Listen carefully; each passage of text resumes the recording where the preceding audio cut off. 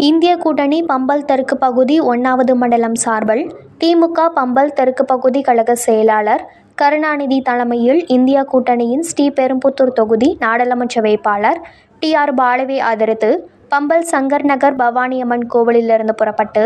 திறந்தவெளி வாகனம் இருசக்கர வாகனத்தில் அணியாக புறப்பட்டு பம்பல் காமராஜபுரம் ஃபாத்திமா நகர் பகுதி நிர்வாகி அனிஸ்டன் உற்சாக வரவேற்பு அளிக்கப்பட்டு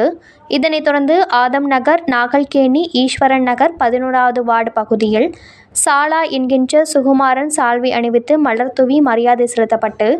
பம்பல் அண்ணா சாலை பம்பல் நலத்தம்பி சாலை ஆகிய முக்கிய பகுதிகளில் தீவிர வாக்குகளை சேகரித்து பிரச்சாரத்தை மேற்கொண்டனர். இதில் பல்லாவரம் சட்டமன்ற உறுப்பினர் கருணாநிதி தாம்பரம் மாமன்ற உறுப்பினர்கள் மதினா மேகம் சத்யா மதியழகன் ரம்யா சத்யா பிரபு